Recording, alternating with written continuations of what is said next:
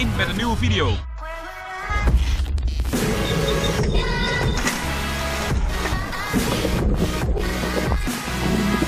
Hallo allemaal! Kast 2001 met een nieuwe video. Je kijkt naar de tweede etappe van de 8 van Bladel. En mocht je de eerste etappe nog niet gezien hebben, hier rechtsbovenin opent zich nu een infokaartje. En daar kan je op klikken om vervolgens naar de eerste etappe te gaan. Zal ik zeker even bekijken. Goed, dit is dus inmiddels de tweede etappe. En laten we eens kijken of de stemming er bij de renners nog een beetje goed in zit. Ja, en dan krijg je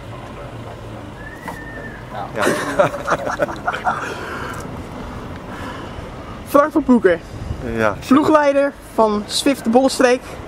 Drie renners in koers vandaag nog voor de tweede etappe van de 8 van Bladel. Wat zijn de verwachtingen? verwachtingen. Eh, hopen dat eh, tot ze alle drie weer de finish halen en dat ze morgen ook de derde dag in kunnen gaan en ook de tijdrit nog kunnen rijden morgenmiddag. Dus daar gaan we voor vandaag. En hoe gaat dat gebeuren? Gaan we daar nog speciale tactieken voor toepassen? Goed voorin rijden. Proberen bij het peloton te blijven of een keer mee in een ontsnapping en verder eh, ja, eh, zou ik het ook niet weten. Ik ben benieuwd, we gaan het zien. Ruben Blom, Ja, hele speciale renner in het peloton. Hij is namelijk de enige die ja, voor Avanti rijdt in het peloton nog. nog wel. Nog wel. Wat zijn de verwachtingen voor vandaag en hoe ga je de problemen oplossen? Ja, gewoon winnen natuurlijk. En jullie ploegleiderswagen, mag die eh, meerijden in de koers? Die mag zeker nog meerijden. Ja, kijk, wat, wat kan er nou? Gewoon Ja, allemaal weg. eh, Jason de Bruin weg, Roy Hogedoorn weg, Stom geluk denk Ernesto ik. weg. Ik denk heel stom geluk, ja. Ja, gewoon pech. Ik denk het wel. Voor partij eh, op de kassei en Ja, dat is ook wel heel lastig natuurlijk. En niet meer achter de auto kunnen terugkeren. nee, Balen. niet als je tegen een boom aanrijdt. Nee, ja, dat is ook moeilijk hè. Maar goed, vandaag dus in je eentje, maar je hebt dus nog wel genoeg ploegleiders bij. Die zijn niet allemaal naar huis gegaan, zo van zoeken lekker zelf uit of Ik heb er zo. alleen maar meer bij gekregen, dus eh, dat Zo. komt wel goed. Ja, precies. Hier, jij, eh, jij hebt luxe vandaag. Je gaat gewoon winnen. wel. Je gaat gewoon winnen. Dat zit er dik in. Hey, heel veel succes hè. Ja, dankjewel. Goedemiddag. Welkom bij de tweede etappe van de 8 van Blauw. Met een Er nieuwe staan video. 114 renners aan de start. Het is bloedheet. Vandaar dat ook iedereen een paraplu bij zich heeft als het gaat regenen. En eh Sergio is ook nog in koers. Kijk, daar is hij. Hij staat 25 en 26e. Heel mooi af. Nelson Peto staat hier achter mij. Kijk, hij zit ook bij in het mooie shirtje van Middelkamp. ziet er niet uit, maar goed, bij ons ziet het er ook niet uit. Dus. Jij staat 26. Nou, het mogen duidelijk zijn dat de sfeer er dus nog eh, goed in zit. Eh, we zijn inmiddels begonnen met de geneutraliseerde start van deze tweede etappe in de 8 van Bladel. We kijken mee met eh, de GoPro onder het stuur van mij. En heel af en toe zullen we dan overschakelen naar de GoPro van Frank van der Broek. De gele trui, die is nog steeds voor Heren van Veenendaal. Hij voert het klassement aan voor Enzo Lijnse en Ben Tullet. En zij dragen de groene en de witte trui.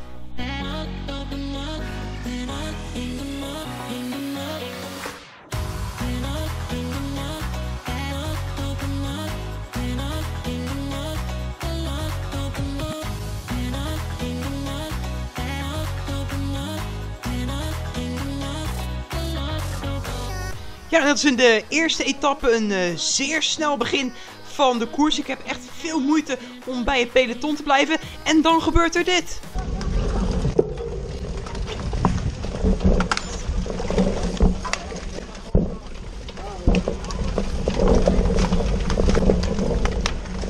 Een massale valpartij. Hier zie je de beelden nog eens, maar dan vanaf de GoPro van Frank. Ook hij zat eh, achter deze valpartij. En hetzelfde geldt voor Tijn Kluts, onze derde en laatste renner nog in koers. Ja, dan besluit de organisatie om de koers stop te zetten. Te neutraliseren dus. Even wachten totdat iedereen weer zijn aansluiting bij de groep heeft gevonden. Om vervolgens weer opnieuw te starten.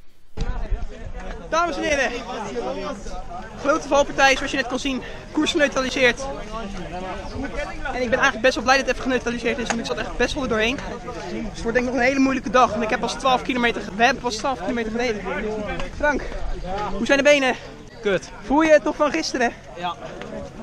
Oei oei. Ja, het wordt lastig. Er komen nog renners aan, die zijn gevallen. We gaan zo weer verder denk ik.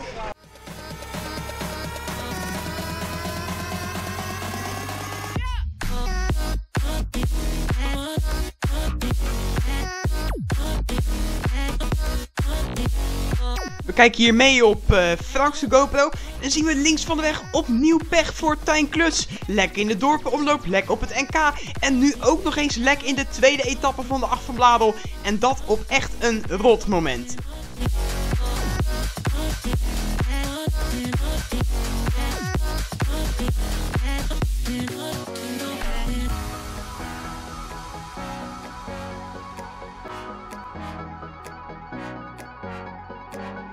Ik heb het uh, enorm zwaar op het uh, draaien en keren hier in uh, Bladel. Maar ik ben zeker niet de enige die het zwaar heeft. En als je het zwaar hebt, dan kan je rare dingen gaan doen. Hier hebben we een valpartij van Jasper Kraaienbrink van het Cervelo Guzzo Development Team. Een eigenaardige valpartij waarvan ik de oorzaak na een stuk of tien keer bekijken van de beelden eigenlijk nog steeds niet echt heb gevonden.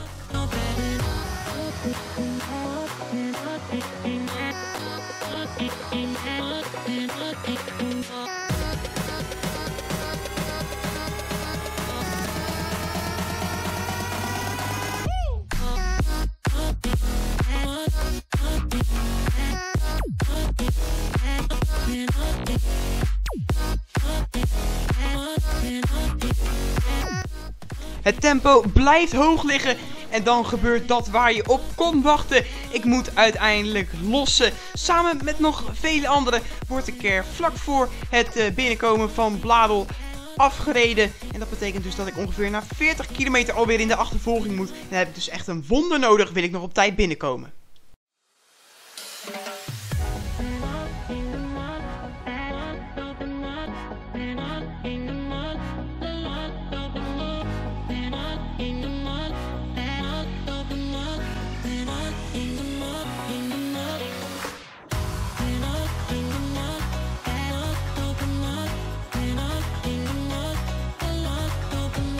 Tijn Kluts weet nog aan te sluiten bij ons groepje, maar het versplintert volledig. En dus worden we eigenlijk uh, allemaal na een kleine 80 kilometer uit koers gehaald. En zit mijn 8 van Bladel er dus na twee etappes helaas al op. En dat betekent dus verder kijken met de GoPro van Frank.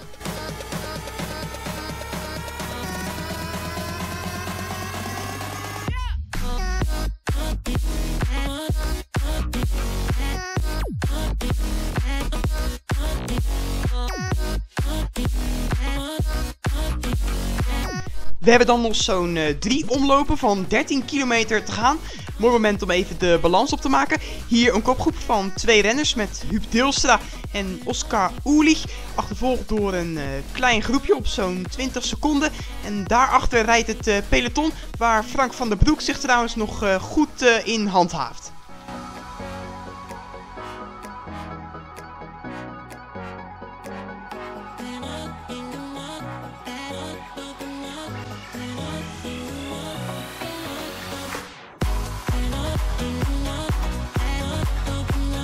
We krijgen de bel. De bel voor de laatste ronde. En nog steeds zijn het Huub Deelstra en Oscar Oerlich op kop. Huub Deelstra 1 minuut 7 achter in het klassement. En Oscar Oerlich al bijna op 8 minuten. Speelt dus geen rol meer. Hier een tweede groep. Een uh, grotere tweede groep. Met onder andere gele truidrager Hede van Velendaal erbij. Maar in zijn wiel zit uh, de nummer 2 van het klassement. En zo lijnt ze in de groene puntentrui. Hier nog een uh, derde achtervolgende groep. Met onder andere de nummer 6 van het algemeen klassement Victor Broeks. En de nummer 8 Ryan Kamp. En de peloton, ja, dat volgt inmiddels al op meer dan 2 minuten. En in dat peloton rijdt onder andere Ben Tullet, de nummer 3 van het klassement. Kreeg een lekker band en gaat dus heel veel tijd verliezen.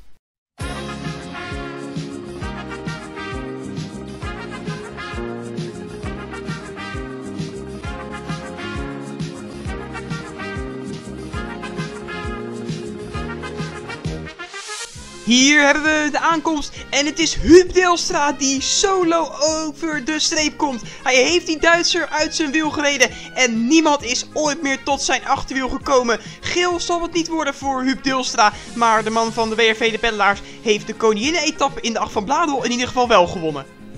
Nu is het wachten. Wachten op de achtervolgende groep met de nummers 1, 2, 4 en 5 onder andere van het algemene klassement. Hier hebben we de binnenkomst van Hidde van Velendaal. Die weet een eh, paar secondjes te pakken. En bovendien weet hij ook nog eens 6 bonificatiesecondes mee naar huis te nemen. 4 bonificatiesecondes en dus de derde plaats in de tweede etappe. Die gaat ook naar een man van, jonge, de, van de jonge renner. En dat is Mauro Spapen.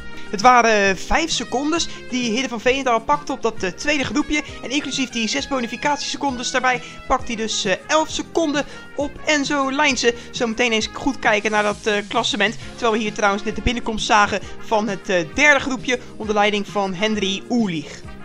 Tot slot de binnenkomst van het uh, peloton. Het peloton met dus uh, de jongere trui, met uh, Ben Tullet, maar ook met Melvin Lindeloof. Die finisht hier als 27ste. En Frank van der Broek, daar kijken we nu mee. In het wiel van de Nederlands kampioen geeft hij nog wel 5 seconden toe op de kop van het peloton. Maar desalniettemin een keurige 59ste plek voor de wattagebezoeker. Frank van der Broek.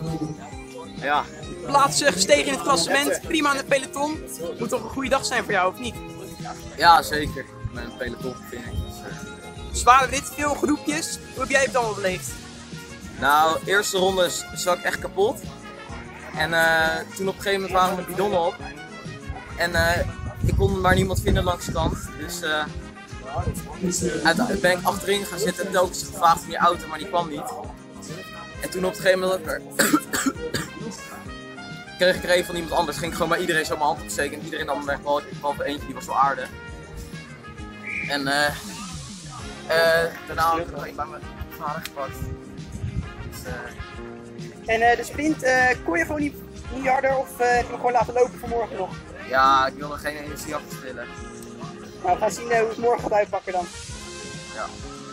Al dus Frank, die er dus nog uh, redelijk fris uitziet voor de rit van morgen. We kijken inmiddels naar de etappe-uitslag. Veel namen heb ik uh, zojuist al benoemd. Het zijn dus 28 seconden die Huub Deelstra weer goed wist te maken op uh, Hidden van Veenendaal. Blijft er nog wel meer dan een halve minuut staan in het klassement. Hier het uh, klassement. Dat is voor twee vlakke etappes toch al redelijk uh, uit elkaar geschud. Hidden van Veenendaal 20 seconden voor op Enzo Lijnse. En we moeten toch ook rekening gaan houden met die Huub Deelstra. Die al veel goede dingen in de tijdrit heeft laten zien. En nu op 38 seconden nadert van die man van de jonge renner. Hier de groene trui voor het uh, puntenklassement. Een flinke voorsprong nu voor Hidde van Veenendaal. Na die, dus die eerste en tweede plaats. En Huub Deelstra mag die trui in de komende etappe gaan dragen. Op basis van een beter etapperesultaat dan Enzo Lijnse. Hier de stand in het uh, tussensprintklassement. Geen punten vandaag voor Olaf Kooi. Die had een heuse off-day en finishte op 5,5 minuut van winnaar Huub Deelstra. Karsten Boske daarentegen, die pakte veel punten. En zijn uh, ploeggenoot Bart Arts pakte namens de TWC het snelle ook weer wat extra puntjes. En dus uh, ziet het er goed uit voor die mannen van dat thuisteam. Hier de stand om het uh, jongerenklassement. Zie ook dat er verderop echt al hele grote tijdsverschillen zijn. Hidde van Vedendaal gaat daar natuurlijk als eerstejaars junior aan kop. En Enzo Lijnse mag die trui in de komende etappe gaan dragen. Hier het ploegenklassement. En die verandert van leider. Willy Brood wil vooruit. Staat nu op 1 minuut 51 van WTC de Amstel. Die de strijd lijken aan te gaan met WV de jonge renner. Om uiteindelijk het ploegenklassement uh, op hun naam te schrijven.